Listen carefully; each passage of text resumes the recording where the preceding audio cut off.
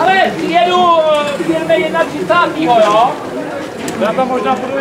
Jo, si na webe, Počkej, tu vychází ten víkend?